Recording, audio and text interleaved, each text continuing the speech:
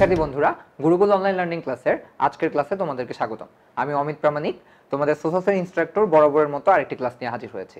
তোমাদের যদি সর্বশেষ ক্লাসগুলোর কথা একটু মনে থাকে, তোমাদের মনে থাকার কথা যে আমরা সংবিধান কি, সংবিধানের বিভিন্ন ধরনের শ্রেণি বিভাগ কি, এগুলো নিয়ে আলোচনা করেছি। সেই সাথে আমরা বাংলাদেশের সংবিধানের যে বিভিন্ন প্রাধান্যমূলক যে বৈশিষ্ট্যগুলো রয়েছে, সেগুলো নিয়েও আমরা আমাদের আলোচনাটা শেষ করে এসেছি। এবার আমরা দেখব যে বাংলাদেশের সংবিধানের ভেতরে যদি আমরা একটু ঢুকি, তাহলে আমরা দেখব যে বেশ কিছু ধারা রয়েছে যেগুলো নাগরিক হিসেবে আমরা প্রতিদিনকার জীবনে যে অধিকারগুলো ভোগ করে এসেছি রাষ্ট্রের থেকে, সেটার সাথে খুবই গুরুত্বপূর্ণ বা সেটার সাথে খুবই সম্পর্কযুক্ত। তো আমরা একটু সেই ধারাগুলোর ব্যাপারে আজকে একটু আলোচনা করব যে এই কোন কোন ধারাগুলো আমাদের প্রতিদিনকার জীবনে আমরা প্রতিদিনই উপভোগ করছি, কিন্তু আমরা হয়তো জানি না যে সংবিধানের ঠিক কোন জায়গাটির কারণে আমরা এই অধিকারটি পাচ্ছি। তো আমরা এরকম বেশ কিছু ধারা নিয়ে আজকে আলোচনা করি। তো একদম প্রথমেই যেই ধারাটি খুবই গুরুত্বপূর্ণ সেটা হচ্ছে ধারা নম্বর সাতাশ বাংলাদেশের সংবিধান মতে সকল নাগরিক আইনের দৃষ্টিতে সমান।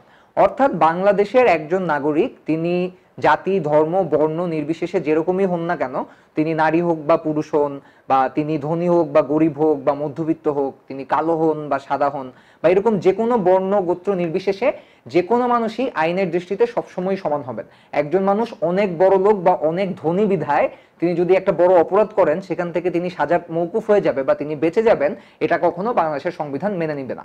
তো এটা হচ্ছে খুবই এক্সক্লুসিভ একটা ধারা, যেটার কারণে বাংলাদেশের প্রত্যেকটি মানুষকে আইনের দৃষ্টিতে সমান চোখে দেখা হয়। ধারা নাম্বার উনত্রিশ, সেটা হচ্ছে প্রজাতন্ত্রের কর্মে নিয়োগ ও পদ লাভের ক্ষেত্রে সকল নাগরিকের সুযোগের সমতা থাকবে। এই ধারাটি বাংলাদেশের জন্য খুবই গুরুত্বপূর্ণ। কারণ এই ধারাটি হচ্ছে এমন একটা ধারা, যেই ধারাটা আমাদের সংবিধানে যে আছে, তার একটা বিশাল কারণ হচ্ছে আমরা যে মুক্তিযুদ্ধ করেছিলাম, সেই মুক্তিযুদ্ধর আগে আমরা যখন পাকিস্তানের অংশ ছিলাম, তখন আমরা কখনোই তাদের যে পাকিস্তানের সংবিধান, সেই সংবিধান অনুযায়ী এই সুযোগটা পুরোপুরি পেতাম না। তোমাদের যদি মনে থাকে, তাহলে তোমরা একটু মনে করে দেখো যে উনিশশো একাত্তর সালে যখন বাংলাদেশের যুদ্ধ হয়, তখন আমাদের বড় একটা দাবি ছিল যে পাকিস্তানের যেই সরকারি আমলা বা সরকারি যেসব চাকরি বা মিলিটারি যেসব পজিশন রয়েছে, সেসব জায়গায় বাঙালিদের যথেষ্ট পরিমাণ জায়গা দেওয়া হতো না, বাঙালিদের যথেষ্ট পরিমাণ সুযোগ দেওয়া হতো না। অর্থাৎ পুরো পাকিস্তান দেশটির মধ্যে আলাদা করে একটি গোত্রকে কম নজর দেওয়া হতো বা কম সুযোগ সুবিধা দেওয়া হতো, তাদেরকে একটি নিম্ন চোখে দেখা হতো। কিন্তু বাংলাদেশের সংবিধানের এই ধারা নাম্বার উনত্রিশ এটা নিশ্চিত করে যে প্রজাতন্ত্রের যে কোনো কর্মের যেসব জায়গাগুলো রয়েছে, সেখানে নিয়োগ এবং পদ লাভের ক্ষেত্রে বাংলাদেশের প্রত্যেকটি নাগরিকের, সে চাকমা হোক বা মারমা হোক, সে ধনী হোক বা গরিব হোক, হিন্দু হোক বা মুসলমান হোক, তাকে কোনো আলাদা দৃষ্টিতে দেখা হবে না। তাদের সবাইকে সমান দৃষ্টিতে, সমান যোগ্যতার বিচারে বিচার করে তাদেরকে সেই পদে আসীন করা হবে। এরপরে আরেকটা গুরুত্বপূর্ণ পদ হচ্ছে ধারা নাম্বার একত্রিশ, সেটা হচ্ছে আইনের আশ্রয় লাভের অধিকার। এই ধারাটি বাংলাদেশের যে কোনো নাগরিকের জন্য যে কোনো সময় যে কোনো মুহূর্তে আইনের আশ্রয় লাভের যে অধিকারটি রয়েছে সেটি নিশ্চিত করে। সেটা কীরকম? এটা এমন হতে পারে যে বাংলাদেশের একজন নাগরিক বাংলাদেশের বাইরে কোথাও কোনো অপরাধ বা কোনো একটা পরিস্থিতির শিকার হয়েছে, তখনও সে সেখানে বাংলাদেশের যে হাই কমিশন রয়েছে বা বাংলাদেশের যেই সরকার রয়েছে তার সহযোগিতায় আইনের আশ্রয় চাইতে পারে। আবার বাংলাদেশের ভিতরে হয়তো এমন হতে পারে যে একজন গরিব মানুষ, যে কোনো একটা আইনি সমস্যায় বা জটিলতায় পড়েছে, কিন্তু তার উকিল বা এই ধরনের কোনো কিছু ভাড়া এদের যেই টাকাটা দিতে হবে সেটা তার কাছে নেই। তখন সরকারের কাছে সে কোনো উকিল চাইতে পারে বা এই ধরনের আইনি সহায়তা চাইতে পারে যেটা সরকার তাকে দিতে বাধ্য। তো এই ধরনের বিভিন্ন ক্ষেত্রে একটা মানুষের যে কোনো ধরনের সমস্যা থাকার পরেও আইনের যেসব আশ্রয়ের জায়গা রয়েছে, সেগুলো যেন কোনো মানুষের জন্য অনিশ্চিত না হয়, সেটা এই ধারার মাধ্যমে বাংলাদেশের সংবিধান, বাংলাদেশের সকল নাগরিকের জন্য নিশ্চিত করে। এরপর আরেকটা যে গুরুত্বপূর্ণ ধারা রয়েছে, সেটা হচ্ছে ধারা নাম্বার তেত্রিশ। সেটা হচ্ছে গ্রেপ্তারকৃত কোনো ব্যক্তিকে কারণ না জানিয়ে আটকে রাখা যাবে না এবং তাকে আইনজীবীর সাথে পরামর্শ ও আত্মপক্ষ সমর্থনের সুযোগ দিতে হবে।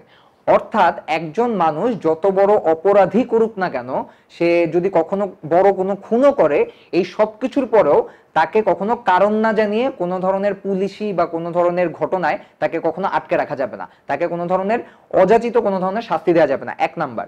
দ্বিতীয়ত, তাকে অবশ্যই তার আইনজীবীর সাথে পরামর্শ করার সুযোগ দিতে হবে। তাকে কখনোই এমন কোনো পরিস্থিতিতে ফেলা যাবে না যাতে সে আইনের যেই আশ্রয় লাভের যে অধিকারটি রয়েছে, আমরা এর আগের ধারা একত্রিশে পড়ে এসেছি, সেটা পেতে তার কোনো ধরনের সমস্যা হয়। এবং তৃতীয়ত যখন তার হিয়ারিং হবে বা যখন মামলাটি পরিচালিত হবে, তখন সব সময় তাকে আত্মপক্ষ সমর্থনের সুযোগ দিতে হবে। সে প্রচণ্ড ঘৃণার একটা কাজ করেছে বলে তাকে তার জায়গাটি কখনো বলতেই দেওয়া যাবে না। এরকম কোনো পরিস্থিতি কখনোই কোনো বাংলাদেশের নাগরিকের সাথে তৈরি করা যাবে না।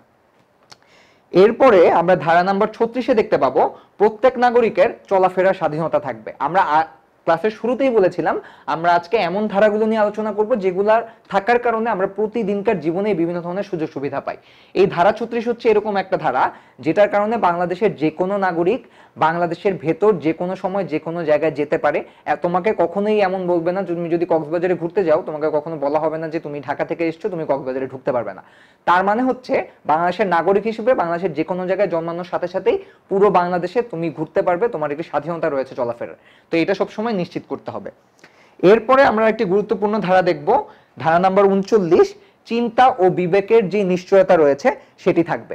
অর্থাৎ প্রত্যেকটা মানুষই ভিন্ন ভিন্ন চিন্তা করে, তাদের ভিন্ন ভিন্ন মানসিক দর্শন রয়েছে ফিলোসফি রয়েছে, তাদের রাজনৈতিক আদর্শ ভিন্ন হতে পারে, তাদের ধর্মীয় যেই আচার আচরণ রয়েছে সেগুলো ভিন্ন হতে পারে, কিন্তু এই সব কিছুর পরেও প্রত্যেকটা মানুষ যেভাবেই চিন্তা করুক, যেভাবেই তার বিবেকের স্বাধীনতা থাকুক, সেটা সবসময় তাকে দিতে হবে, তাকে কখনো সেই ব্যাপারে না করা যাবে না।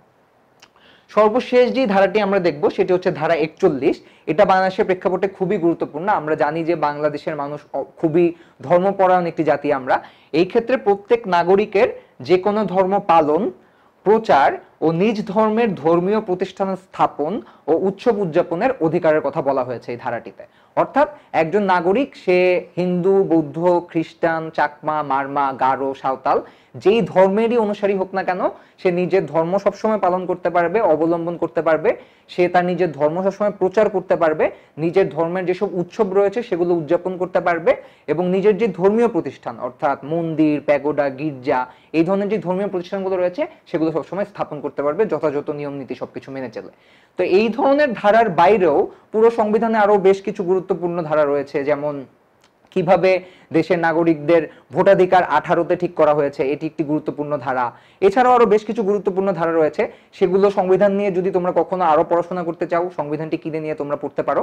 কিন্তু এই ধারাগুলোই মূলত বাংলাদেশের মানুষের যে মৌলিক অধিকারগুলো রয়েছে, সেগুলোকে সবসময় নিশ্চিত করে। শিক্ষার্থী বন্ধুরা, তোমাদের সাথে পরবর্তী ক্লাসে আবারও দেখা হবে। আমাদের ইউটিউব চ্যানেল সাবস্ক্রাইব করতে ভুলো না, তাহলে তোমরা সবসময় আমাদের সবগুলো ভিডিওর আপডেট পেয়ে যাবে।